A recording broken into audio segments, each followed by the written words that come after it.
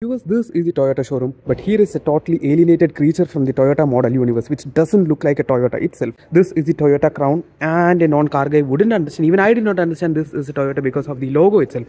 It is designed like a crown. So is the car. It's beautiful, luxurious, and you get bigger wheels than usual Toyota vehicles. Obviously, this is totally different from the world of Toyota.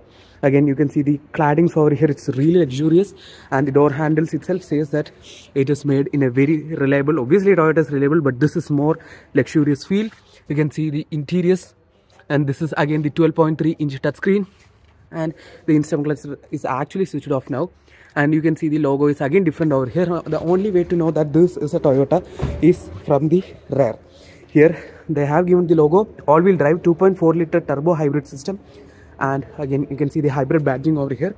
The rear looks totally different. Uh, i do not know how to define this because just look at it how like unique design toyota has given. It's a dual tone color.